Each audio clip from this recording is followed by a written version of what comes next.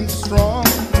Goes to work each day and comes home late at night. Comes home at night looking tired and beat.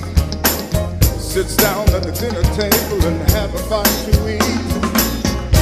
Never frown, always smiling. When he said to me, son, how's my child? Said I've been studying all day in school, trying my very best to learn the golden rule. I'll call him father. Think I'm gonna call him love. Said I'm gonna call him father. Think I'm gonna call him love. Yes, I will. But education is the thing if you want to compete. If I walk out and son, life ain't very sweet. I love this man and I don't know why. Except I need his strength until the day that I die. My mother loves him and I can tell by the way she looks at him when he holds her hand. I heard her say just the other day, if it had not been for him, she couldn't have found her way. I call her this man father. I'm gonna call him love. Color Said I'm gonna call him father. I think I'm gonna call him love. Color him love, love, love, love. A real old man, he got killed in the war.